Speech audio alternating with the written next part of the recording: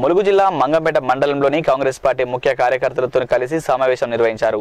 ఈ ఎన్నికల్లో కాంగ్రెస్ పార్టీ అభ్యర్థి అయినటువంటి పూరికల బాలరాం నాయక్ గారిని అత్యధిక మెజార్టీతో గెలిపించాలని ఎమ్మెల్యే సీతక్క వారన్నారు.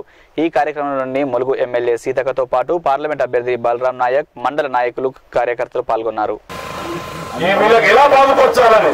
కానీ భగవంతుడు ఒక్కొక్కసారి ఒక్కొక్క సమయానికి అలా కేటాయిస్తూ ఉంటాడు. ఆమె ఒక ఇంట్రెస్ట్ నేను చూస్తున్నా. వీధుల పక్షన ఈ గ్రామాలు నా ఏరియాలో ఉన్న గ్రామానికి ప్రతి గ్రామానికి ఏదో ఒకటి చేయాలి. ఇక్కడ ఉన్న విద్యార్థులకు ఏదో ఒకటి చేయాలి. ఇక్కడ ఉన్న జీవిస్తున్న ప్రతి ఒక్కరికి చేయాలి. ఈ గోదావరి బెల్ట్లో ఉన్న ఏదో ఒకటి చేయాలి. ఈ బెల్ట్ ఫ్యాక్టరీ కూడా నేను కూడా ఎన్నోసార్లు దాని మీద సమస్యల మీద మాట్లాడాను. నేను కూడా ఎంపీగా ఉన్నప్పుడు నేను కూడా ఎంతో మందిని రెగ్యులేషన్ కూడా చేయించాను. డైలీ వేజుల్లో రెగ్యులేషన్ కూడా చేయించాను నేను. మరి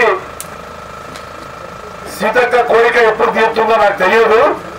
ఆ ఒకళ్ళ కోరిక అది ఒకళ్ళ గవర్నమెంట్ వస్తే మాత్రం ఎంత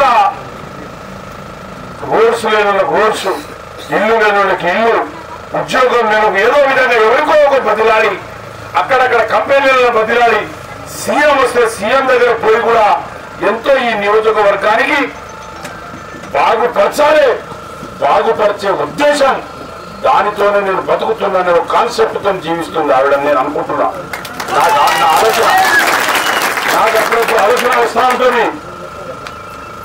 ఎక్కడెక్కడో తిరుగుతుంది. అక్కడ ఇక్కడ ఎక్కడ ఎక్కడ లేకుండా పొద్దున్న లేస్తే రాత్రి వరకు వడ్డీ రాత్రి నాకు ఫోన్ చేస్తే అక్కడ చేసినప్పుడు పన్నెండున్నర ఒకటి అవుతుంది. నేను అనుకున్నా సరే ఏదైనా ఏమైనా కానీ ఈ ఆలోచన ఉన్నది మంచిది పేదవాళ్ళకు మన ఏరియాలో ఉన్న వాళ్ళకి